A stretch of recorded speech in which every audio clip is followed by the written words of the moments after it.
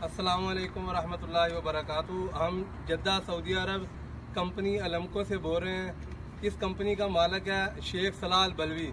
हम अपने मुल्क, हम अपने मुल्क पाकिस्तान वज़ीर अजम इमरान खान से ये इल्तजा करते हैं कि हमें प्लीज़ इधर से निकाला जाए। हम सोलह महीने से इधर बैठे हुए हैं और ना ये काम देते हैं, ना हमें पाकिस्तान भेजते हैं। हमें कहीं नहीं भेजते।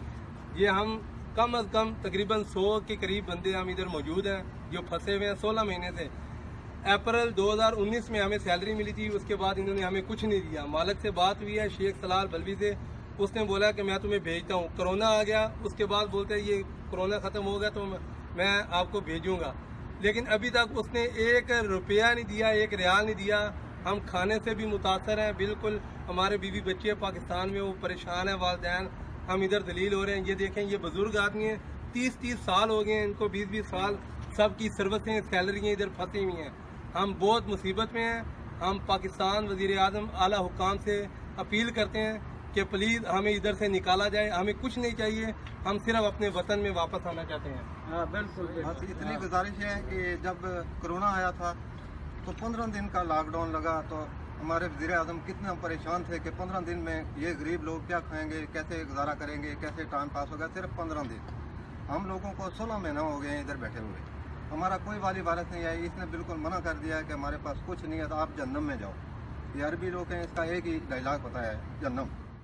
आप खुद रवाम के लिए पंद्रह दिन के लिए परेशान हो गए थे। हम सोलह महीने से आपके मुल्क के पाकिस्तान के आदमी हैं। हम कोई हमारी मदद की थी किसी दूसरे मुल्क के आदमी नहीं पाकिस्तान के हैं। हमने बहुत पैसे इधर से कमाए हैं बहुत भेजा है उस मुल्क में। लेकिन हमारी कोई हेल्प करने के लिए इस वक्त तैयार नहीं ठीक है? हमने केस भी किया हुआ है अदालत भी कुछ नहीं कर रही। ये हमारा मुल्क हो तो हम लड़े। ये हाँ तो दिया अमीर आदमी वो आगे तारीख दो महीने की आगे ट्रांसफ़र करता ना है सफारा हमारे हाथ में कुछ कर रहा है। ना पास- इधर अदालत कुछ कर रही है ना गवर्नमेंट पाकिस्तान कुछ कर रही है ना सऊदीया कर कुछ कर रही है। हमारा हम फंसे हुए हैं ना हमारे पास काम है ना हमारे पास इंश्योरेंस है हम बीमार आदमी है इधर मर रहे हैं, ना खर्चा है खाने के लिए। बहुत मुश्किल में फंसे वज़ीर आज़म से गुजारिश है कि अल्लाह खली कुछ ना कुछ हमारे लिए करो। कुछ ना कुछ हमारे लिए करो। ये आदमी बहुत असर रसूख वाला है साला बलवी जो इधर जिस थाने में हम जाते हैं उर्दू को है वो हमारा बात इससे इसलिए है इमरान खान से ये रिक्वेस्ट है कि हमारी मदद करो हमारे सफारे वालों को बोलो वो हमारी मदद करें वो इधर आए हमारे मुश्किल हल करें कुछ ना कुछ। हम बहुत मुश्किल में फंसे हुए हैं। कोई तरीका करें भेजें। या शेख साले अल बलवी फोन शुरू करो या अस्सलाम वालेकुम या शेख साला अल बलवी अस्सलाम वालेकुम या शेख साला अल बलवी अना फी शफत मरीज अना फी नफर अना शेबा नफर हाँ सब इंसान फी नौम अल्लाह खलिया तफसील मालिक